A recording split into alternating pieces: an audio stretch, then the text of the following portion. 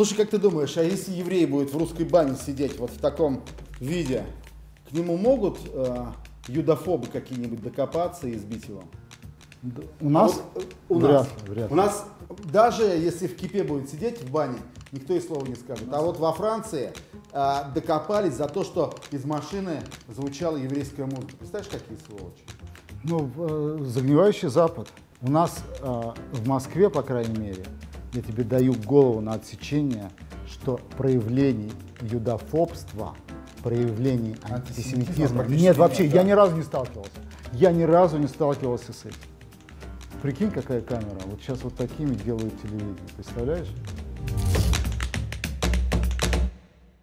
Шалом, дорогие друзья! Роза Хайбо. Это итоговая программа на первом еврейском телеканале. В эфире два кадра, и мы, братья Эйхфусы, на дворе конец декабря, и мы начинаем. Сегодня вы увидите, а на правом плече вакцинация, а на левом прививка анфас. Как проходят процедуры в разных странах и скоро ли победят коронавирус. ООН разбирается в благополучии. Рейтинг стран, в которых жить хорошо. Выбором быть. Израильский Кнессет совсем распустился.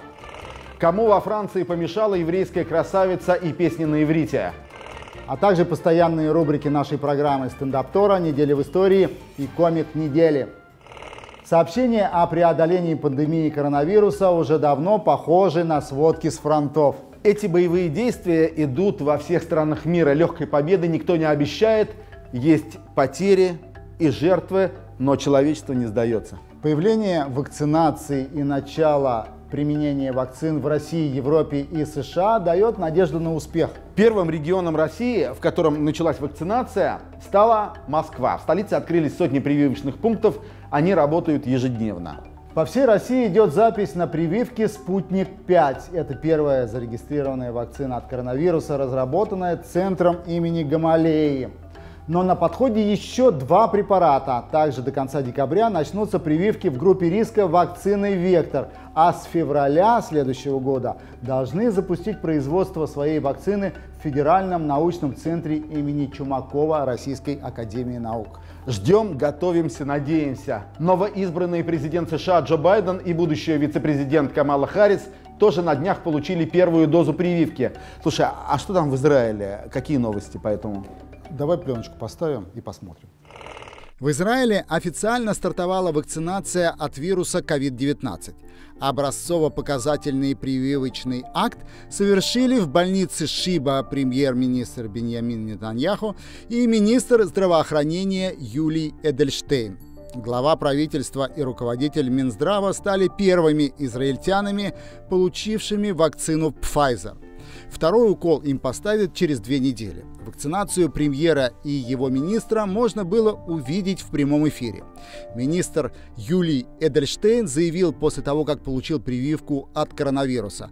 «Мне жаль разочаровывать распространителей фейк-ньюс, но у меня не вырос хвост. Все в полном порядке, и я отлично себя чувствую». Глава правительства Беньямин Нетаньяху также сообщил о своем превосходном самочувствии после прививки. Перефразируя американского астронавта Нила Армстронга, первым спустившегося на Луну, израильский премьер сказал, что это маленький укол для человека, но огромный шаг для человечества. Вакцину в первую очередь получили также генеральный директор Минздрава Хези Леви и заведующий медицинским центром Шиба профессор Ицек Крайс. Затем вакцинацию прошли врачи и весь медицинский персонал больницы. Прививочная кампания в Израиле получила название «Латет Катев» – «подставить плечо». Это игра слов на иврите, имеющая и прямое значение, поскольку прививка делается в дельтовидную мышцу плеча и переносная – подставить плечо для помощи другу. Однако то, что широкомасштабную операцию по вакцинации населения Израиля открыли Нетаньяху и Эдерштейн, вызвало неоднозначную реакцию в обществе. Кому-то показалось странным, что прививку Беньямину Нетаньяху делал не кто-то из медперсонала, а личный врач премьер-министра доктор Цви Беркович. По соцсетям даже начала гулять фото жаба, что персональный лекарь делает не укол, а татуировку на плече премьера в виде портрета Сары Нетаньяху. Кого-то возмутило, что первые прививки достаются высокопоставленным лицам, главе Кабмина, министрам, депутатам, крупным чиновникам и руководителям. При этом же на старте вакцинации рухнули от обилия заявок колл-центры ведущих больничных касс, и простым израильтянам было не так-то просто получить место в очередь на прививку. Кто-то заявлял, что начинать нужно было не только с медиков и представителей групп риска, но и с работников, связанных с обслуживанием, оказанием неотложной помощи, коллективной работой, а то и спасением широких слоев населения, с полицейских, учителей и воспитателей, водителей общественного транспорта, пожарных, сотрудников чрезвычайных служб и так далее. Большинство израильтян потребовали не отрывочной информации, а точного графика прививочной кампании. И он был вскоре обнародован. И вот уже вторую неделю вакцинация идет по заданному плану.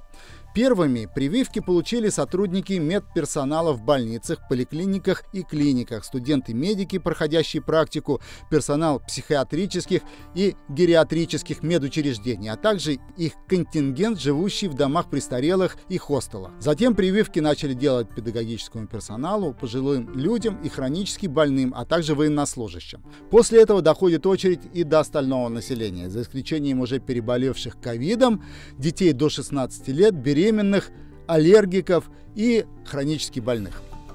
Больничные кассы рассылают персональные телефонные приглашения на каждом этапе. Только получив такое приглашение, можно назначить очередь на прививку. Минздрав уверенно сообщает, что вакцин мест в центрах для прививок и рабочих рук медиков хватит всем израильтянам.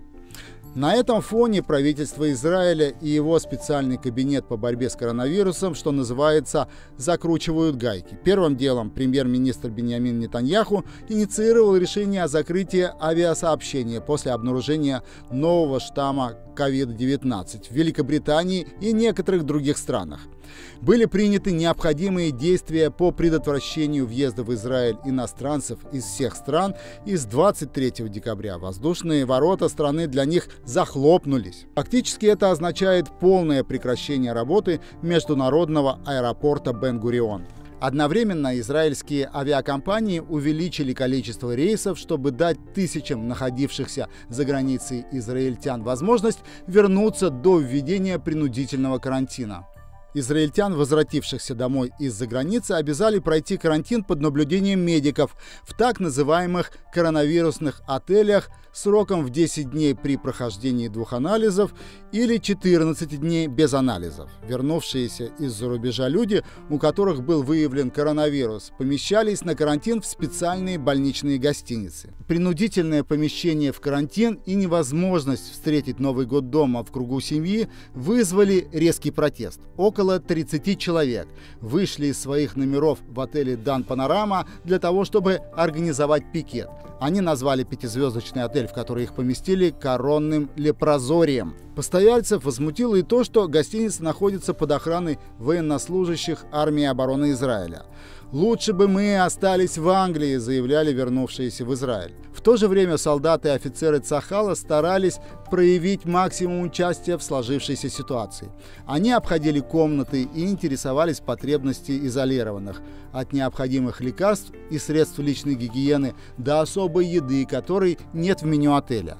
Все просьбы и пожелания выполнялись четко и оперативно, но оптимизма и радости это постояльцам карантинных отелей не доставляло. При этом командование тыла сообщило, что не в состоянии поместить в гостинице всех израильтян, которые в ближайшее время вернутся из-за границы, и, видимо, придется задействовать какие-то другие места размещения людей. Помнишь э, старый анекдот про пассажира поезда, который лежал на верхней полке, стонал и жаловался, что ему плохо? Да, а внизу был представитель какой-то Южной Республики и говорил, э, э послушай, брат, кому сейчас хорошо, а? Не скажи. Если судить по отчету ООН, год тому назад были такие счастливые и довольные жизнью страны. Ну-ка докажи. С цифрами в руках, с особой гордостью, легко. Глобальная сеть Организации Объединенных Наций по оказанию помощи государствам, входящим в ООН, опубликовала свой ежегодный рейтинг индекс человеческого развития. В этом отчете оценивается уровень жизни в странах мира на основе показателей в трех областях – экономика, образование, здравоохранение. Еврейское государство набрало, согласно этому документу, 919 баллов из 1000 возможных, что на 19 баллов больше, чем средний балл для стран-членов Организации экономического сотрудничества и развития. Израиль разделил 19-21 места с Японией и Лихтенштейном. В общей сложности в рейтинг вошли 189 стран. Первые пять мест достались Норвегии, Ирландии, Швейцарии, Исландии и Гонконгу. Среди стран Ближнего Востока самый высокий уровень жизни зафиксирован в Арабских Эмиратах. Остальные страны региона, кроме Израиля, сгруппировались в конце первой, начале и середине второй сотни мест. Что значит высокое место Израиля в рейтинге индекс человеческого развития? В частности, отчет показал, что по данным на 2019 год ВВП на душу населения в Израиле составляет более 40 тысяч долларов. Израильтяне в среднем учатся по 13 лет, а тот, кто родился в Израиле в 2019 году, проживет в среднем 83 года. А в сегодняшнем Израиле бушует политическая буря. Что уже бушует? Да. Выборы в Кнессет? Да. Судя по всему, они самые. Четвертые за два года. В ночь с 22 на 23 декабря решилась судьба Кнессета 23-го созыва. Еще накануне в ходе вечернего заседания парламентарии не поддержали законопроект о переносе крайних сроков принятия бюджета, в связи с чем в полночь парламент был распущен и в Израиле вскоре состоятся новые выборы. Кнессет не смог принять в первом чтении законопроект о переносе срока утверждения государственного бюджета. За законопроект о переносе крайних сроков принятия бюджета на 31 декабря либо на 5 января проголосовали 47 парламентариев, а против 49. При этом еще одна депутат Ликуда Михаль Шир объявила о выходе из партии и присоединении к политсиле Гедеона Саара «Новая надежда». Шир окончательно сбил расчеты партии Ликут и блока Кахоль-Лаван на то, что законопроект будет принят большинством голосов. Однако сразу три представителя партии Бенни Ганса и один от Ликуда проголосовали против переноса сроков по принятию бюджета. При этом еще один представитель партии Ликуд вообще отказался голосовать. Непринятие бюджета означает автоматический распуск Кнессета и новые внеочередные выборы. Ганс и Нетаньяху обвинили друг друга в ситуации, которая привела к новым выборам. Но глава правительства заявил, что выборов не боится, потому что уверен в победе. Итак, выборы должны состояться, по идее, через 90 дней после распуска Кнессета. Пока таким днем видится 23 марта 2021 года. Еще до окончательного решения в Комитете по законности и Конституции уже началась подготовка к выборам, ориентированным на март. И самый острый вопрос, как пойдут на выборы носители коронавируса. Есть серьезные опасения, что бессимптомные больные, не прошедшие проверку, могут заразить людей на избирательных участках. Поэтому множество граждан не придут на выборы в случае, если узнают, что там будут голосовать инфицированные. Уже раздаются голоса, чтобы инфицированные голосовали на день раньше. Так можно будет разделить избирателей на две группы и проводить выборы не один, а два дня. Также уже прозвучало предложение об организации подвозки носителей на избирательные участки. Об изменении избирательной процедуры и о голосовании по почте политики не хотят и слышать, ссылаясь на неоднозначный опыт США. При этом система демократических выборов должна быть сохранена, и никто не может быть лишен права голоса. Израильские партии, конечно, хотят, чтобы явка их электората была массовой. Однако еще больше все заинтересованы в сохранении здоровья нации. Есть такая пословица «Не родись красивой, а родись...» Счастливой. Нет. Французские антисемиты, которые никогда и не слышали эту русскую пословицу, переиначили ее на свой лад. «Не родись красивой еврейкой». Прямо-таки так. Так, прямо так. Вот что случилось с вице-королевой красоты Франции Апрель Бенаюм, занявшей второе место на конкурсе красоты «Мисс Франция 2021». Пожалуйста. Родившаяся в Провансе вице-королева красоты Франции Априль Бенаюм стала мишенью для нападок со стороны антисемитов в социальных сетях после того, как упомянула об израильском происхождении своего отца. Мать девушки родом из бывшей Югославии, точнее из Сербо-Хорватии, а вот отец, Априль Бенаем, действительно родился в еврейской семье, репатриировавшейся в Израиль из Италии, а уже потом перебрался во Францию. У юной провансальской красавицы есть родственники как в Сербии и Хорватии, так и в Израиле, но только последнее обстоятельство разъярило французских юдофобов. Сразу же после представления Апрель Бенаюм в начале телетрансляции конкурса, в котором она рассказывала о своих корнях, в ее твиттере появились антисемитские и ксенофобские комментарии, а также призывы бойкотировать ее кандидатуру на конкурсе «Мисс Франция 2021». Разбушевались шовинисты и в других социальных сетях. Дело доходило до прямых оскорблений и даже призывов к физической расправе с конкурсанткой-еврейкой. «Дядя Гитлер, ты забыл уничтожить мисс Прованс», было написано в одном из комментариев. «Кто-нибудь расскажите ей, что Израиля не существует, это Палестина», написал другой комментатор. Особо старались оскорбить апрель иммигранты из арабских стран во Франции. Министр по делам гражданства Франции выразила поддержку апрель Бенаюм и направила рапорт по поводу антисемитского инцидента в прокуратуру. Министр внутренних дел Франции также заявил, что глубоко шокирован произошедшим. Международная лига против расизма и антисемитизма призвала направлять ей сообщения о любых антисемитских выходках и потребовала привлечь к суду авторов комментариев, которые превратили Твиттер в антисемитскую помойку. Свою поддержку Апрель Бенаюм выразила и победительница конкурса «Мисс Франция» Амадин Пяти. Да, дела. В э, Пятой Республике антисемитские штучки юдофобские начали повторяться, ну, прям системно, из раза в раз. А вот еще один свежий случай. В один из дней Хануки преступники напали на семью в северном пригороде Парижа, Абервилия, за то, что в машине звучала израильская музыка и песня на иврите. Злоумышленники выкрикивали антисемитские лозунги, забрасывали автомобиль камнями и бутылками, а не сумев вытащить спрятавшихся там евреев, попытались перевернуть машину. Вызванный наряд полиции задержал юдофобов и предотвратил расправу. А Бервилье, где произошел инцидент, располагается в административном районе Сен-Сен-Дени. Это бедный округ, многие жители которого мусульмане, выходцы из семей иммигрантов. Однако здесь же издавна обитает и еврейская община, работает большая еврейская школа. В последнее время французские евреи, как в этом, так и в других районах и городах страны, стали сталкиваться с проявлениями ненависти со стороны националистов неонацистского толка и пропалестинских мусульманских фанатиков. Чему учит Тора? Вере, стойкости мудрости. А о чем рассказывает та ее недельная глава, которую читают в синагогах на этой неделе, поведает наша постоянная рубрика «Стендап Тора» и Равин Хамовников, Равин общины среди своих, Мотл Гордон. Шалом. На этой неделе мы изучаем недельную главу Ваихи, и одновременно мы заканчиваем изучение книги Берешит, первой книги Торы, первой книги Танаха. Э, поэтому сегодня мы говорим не только о главе, но и подводим э, некоторую черту под э, изучением книги Берешит.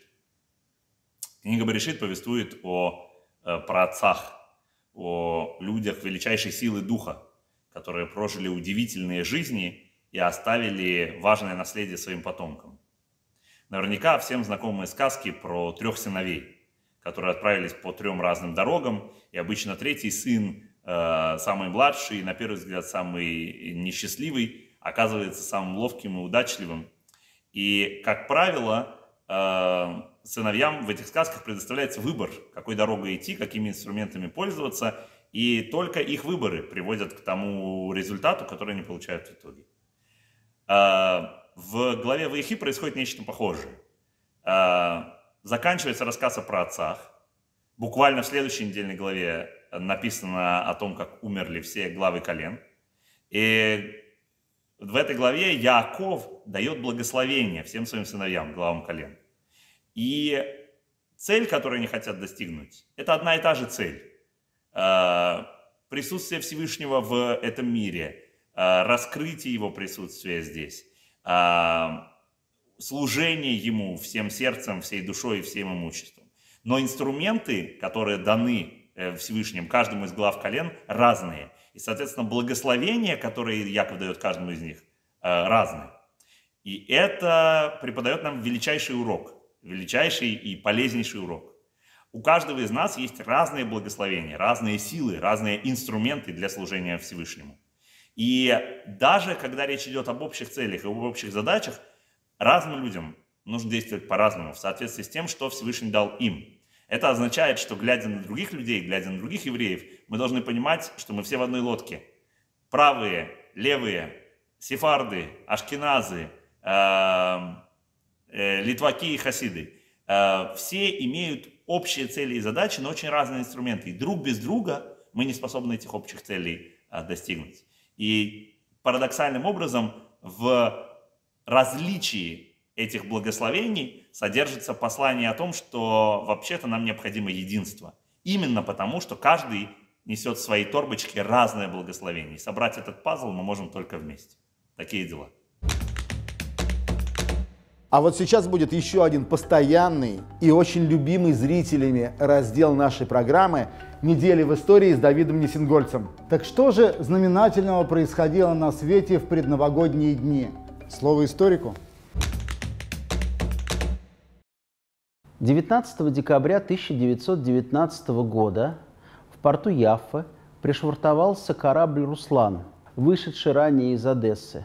На корабле находилось более 600 пассажиров, из которых а, более сотни были евреи, изгнанные из Эрец-Исраэль в годы Первой мировой войны, оказавшиеся в Одессе, а остальные российские евреи – которые подделали себе документы, причем это было сделано организованно, централизованно, и обратились к английскому консулу э, с просьбой выдать им документы на право въезда в Палестину. Дело в том, что в годы Первой мировой войны э, немало евреев было изгнано или бежало, эмигрировало э, из Палестины. Некоторые из них оказались в Одессе, и они хотели вернуться в Эрец-Исраэль, и обратились за помощью к британскому консулу. Ситуацией решили воспользоваться и сотни евреев, которые э, решили выбраться из России, но не имели легально такой возможности. И кроме 100 с лишним реальных беженцев, э, еще примерно 500 человек получили возможность на въезд Э, в Эрец Исраиль. Некоторые в шутку это потом называли первым Таудадзуут, удостоверением личности еще задолго до создания государства Израиль. Среди 600 с лишним пассажиров, которые там находились, э, э, многие потом составили красу и гордость будущего еврейского Ишува и государства Израиль. Ишув – это еврейское население страны до 1948 года. Среди них были известный историк Йосеф Гидалия Клаузнер – видный инженер и ректор Хаевского техниона Исроэль Достровский, видные врачи, адвокаты, общественные и политические деятели, будущий главный врач больницы Адаса доктор Хаим Ясский, отец поэта Ефраима Гури. В частности, на корабле была Рахель Коэн Каган, одна из двух женщин, подписавших Декларацию независимости и мать премьер-министра Израиля Ицхак Рабина. Многие считают, что Руслан был первым кораблем, прибывшим в Эрцисраиль после окончания Первой мировой войны. Это не так. А, Первая мировая война окончилась а, осенью 1918 года, и после этого в Эрцисраиль прибыло немало кораблей. Руслан прибыл уже через год после окончания Первой мировой войны, но недаром его называют израильским Эйфлауэром, потому что среди пассажиров Руслана а, были люди, которые внесли огромный вклад в становление и развитие государства Израиль. И, наконец, то, чего все так ждут. В конце, кого мы выдвигаем название «Комик недели». Не выдвигаем, а уже называем. Мы же не в Кнессете и не в Государственной Думе. Короче, вот он, наш герой и комик в одном лице. Израильский гражданин был пойман с поличным, когда пытался вынести из магазина в Екатеринбургском аэропорту Кольцова плюшевого медведя. 30-летний уроженец Екатеринбурга, который уже 7 лет живет в Израиле, просто вышел наружу с игрушкой, не заплатив за нее указанной на ценнике 7,5 тысяч рублей. Около 100 долларов или 350 шекелей решил сэкономить наш герой. Адвокат любителя дорогой мягкой игрушки заявил, что клиент ничего не крал, хотел расплатиться, но не дождался продавщицы и вышел из магазина выпить кофе. Как поведал юрист, со слов израильтянина, тот сидел с Мишкой, всем своим видом показывая, что он ждет продавщицу и хочет заплатить за игрушку. Так и не дождавшись продавщицы, гражданин двух стран направился к самолету, когда по громкоговорителю объявили, что началась посадка. В этот момент его и задержали. Адвокат подчеркнул, что его подзащитный пережил эмоциональное потрясение. Теперь похититель новогоднего Мишки живет у своих екатеринбургских родственников в ожидании суда. Ему грозит от высокого штрафа до двух лет лишения свободы, а 100-долларовый косолапый вернулся на полку аэропортовского магазина. Ну вот и все, мы прощаемся с вами, наши дорогие зрители. Но не на эту неделю, как обычно, а только на 4 дня. Следующая крайняя, как теперь говорят, программа «Два кадра» 2020 года выйдет 30 декабря. То есть вместе с первым еврейским телеканалом весело-весело приблизим Новый год. До встречи 30 декабря 2020 года. Спасибо, что были с нами. Дорогие друзья, не забывайте подписываться. Ваше внимание – наша валюта. Мы существуем, потому что вы нас смотрите. Да, спасибо вам за то, что смотрите. Подписывайтесь и ставьте лайки. Все внизу. И котик, на которого нападает еда. Обязательно котик.